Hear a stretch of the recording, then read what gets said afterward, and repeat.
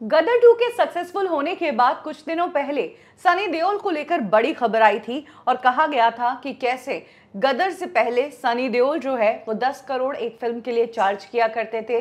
लेकिन गदर टू के सक्सेसफुल होते ही सनी देओल ने अपनी फ़ीस बहुत बढ़ा ली है और अब वो पर फ़िल्म 50 करोड़ रुपए चार्ज कर रहे हैं। कुछ दिनों पहले ये खबर सभी तरफ़ थी। और फ़िल्म इंडस्ट्री का ये ही चलन है कि कोई भी एक्टर अगर एक बार फिर से कम कर लेता है या छा जाता है बॉक्स ऑफ़िस पर तो सबसे पहली चीज़ यही होती है कि वो अपनी फ़ीस बढ़ाता है। सनी देओल से जब फ़ीस बढ़ाने वाली बात कंफर्म की गई तो सनी देओल बुरी तरह भड़क गए और उन्होंने कहा कि जहाँ तक बात है फ़ीस की तो फ़ीस बहुत ही पर्सनल चीज़ है। कोई भी एक्टर फ़िल्म इंडस्ट्री में किस फ़िल्म के लिए कितना चार्ज करता है एग्जैक्ट अमाउंट कोई नहीं बताता। सनी देओल ने कहा कि मैंने अपने लोएस्ट टाइम में भी अपनी वैल्यू कम नहीं की है, इसके साथ ही मैं मार्केट को भी समझता हूँ। हाँ मैं जानता हूँ कि सनी देओल को आज लोग एक अलग नज़र से देख रहे हैं, लेकिन मैं वही हूँ जहाँ मैं पहले था। मेरी तरफ़ लोगों का नज़रिया बदल गया है। और जहाँ तक बात है ज़्यादा या कम चार्ज करने की तो जब मैं अपनी अगली फ़िल्म साइन करूँगा